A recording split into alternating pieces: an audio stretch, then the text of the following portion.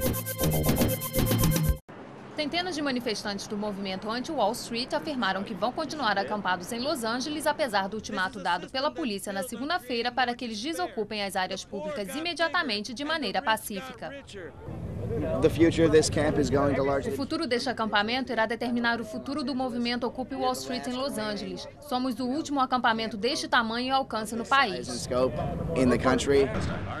O grupo anunciou que vai buscar aparato legal que garanta o direito de continuar com o protesto nos arredores da prefeitura. Já a polícia garantiu que vai continuar com os esforços para retirar os ativistas do local. A prefeitura disponibilizou camas em abrigos para que os manifestantes tenham onde ficar e possam abandonar o acampamento.